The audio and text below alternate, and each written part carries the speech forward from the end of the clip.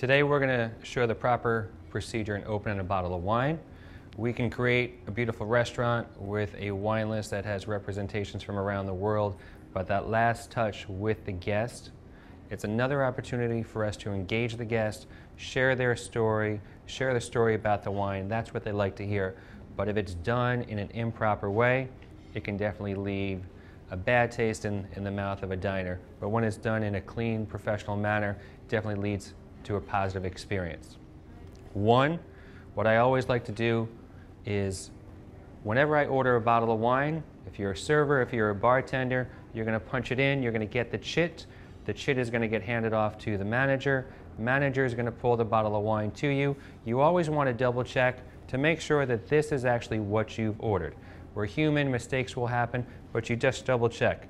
Today we're going to be opening up a Chardonnay from California from Mount Eden Vineyards 2010. It's called Wolff Vineyard.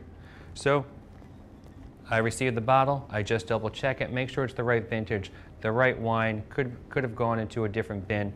When we're opening for the guest, we're going to walk over to the guest. As I'm showing it to him, I like to share the information. If I have their guest last name, it's even better because that's another way that we are engaged. Mr. Smith, the 2010 Mount Eden Chardonnay Wolff Vineyard. He acknowledges because perhaps he was looking at the wine list and he was pointing or thinking about another bottle of wine. I bring it out, he agrees. Now you can engage the guests talking about the wine or leave them to their conversation. Proper way, you should, everyone should have a wine opener that they know and trust. We're going to cut the top of the foil off.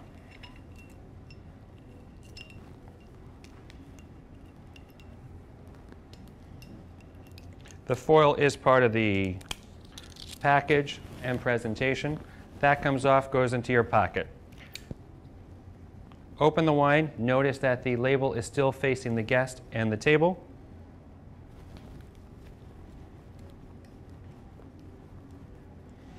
In one motion, pull it up. Again, body language. If we were hunched over, having difficulty, then you can simply step away. But that body language again, pulling it out.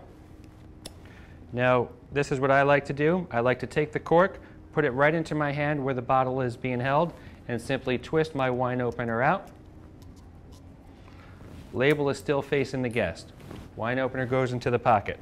Now, with the cork, most of the corks will actually have the name of the winery on it. I like to present this, take a quick look at it, present it to the guest on the right-hand side so they can see it. And then for pouring, again, that body language, the posture, the open hand. I'm going to come over to this gentleman. I'm going to be pouring with my right hand. So the guest can actually see the wine. You have your serviette, you wipe the lip, you simply step back and wait. The guest can smell it, he can taste it. Once he agrees that this wine is sound, we're going to proceed around the table. In this situation, you want to serve ladies first. This gentleman is the host. We're going to continue around the table, serving ladies first, then follow with the gentleman, come back to the host, pour him last. With the cork, simply ask, Sir, do you like to keep the cork for your collection, or shall I take it away? If not, put it in your pocket. For temperature, most white wines tend to be served too cold, most red wines tend to be served too warm.